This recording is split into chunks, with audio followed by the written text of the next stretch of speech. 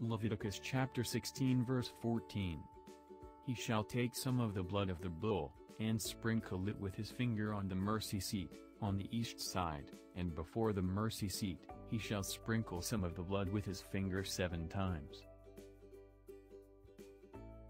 There were three items in the ark, the golden pot of manna, the rod of Aaron, and two stone tablets, on which God had written the Ten Commandments.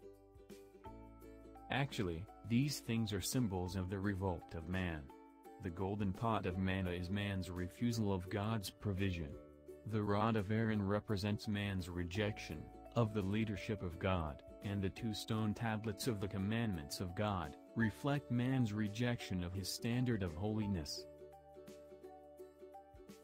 But because God is merciful, he had these things placed in the ark, and covered it with the mercy seat with two cherubim on it.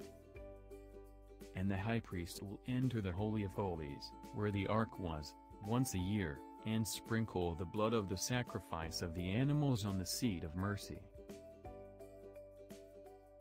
This implies that the eyes of God, depicted by the eyes of the cherubim, didn't get to see the symbols of the rebellion of man. As long as there was blood on the mercy seat, he saw only the blood, and accepted the people.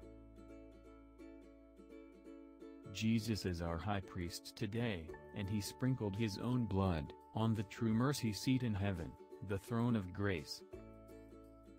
Interestingly, the number of times the high priest of the Old Testament had to sprinkle blood on the mercy seat which is seven times, speaks of the perfect sacrifice of Jesus.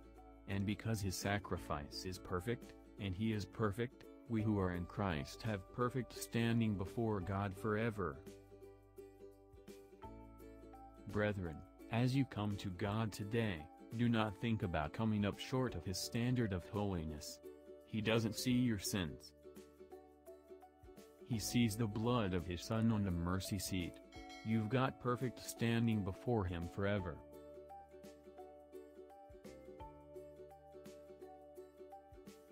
Thanks for watching. Please don't forget to like and comment. Feel free to share with someone who needs strength right now. Kindly subscribe and click the bell icon to get notified. And watch other inspirational videos like this.